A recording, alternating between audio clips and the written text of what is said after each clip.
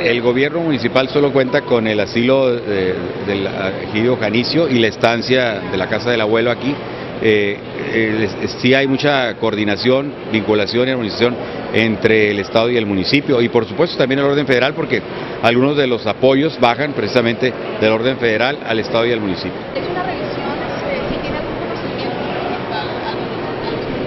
Bueno, este, lo que tengo conocimiento es que este centro está operando desde hace 10 años y que este, todos los elementos serán entregados a, para la integración de la averiguación que está llevando a cabo la Procuraduría una vez que se entreguen los peritajes tanto de bomberos como las áreas como fue mencionado por el gobernador con el apoyo también del orden federal para llegar hasta las últimas consecuencias de la investigación de lo que dio origen a este incendio.